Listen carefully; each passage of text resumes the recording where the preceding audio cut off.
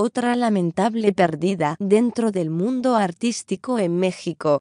La actriz de la llamada época de oro de cine mexicano, Yolanda Ciani, falleció a los 85 años de edad, dejando una huella imborrable en la industria del cine y la televisión. La primera actriz originaria de Chihuahua comenzó su carrera en la década de los 50 y desde entonces actuó en más de 50 películas y 20 telenovelas. La arroba Andy México comunica el sensible fallecimiento de la socia intérprete Yolanda Ciani. Es recordada por sus actuaciones en cine y televisión.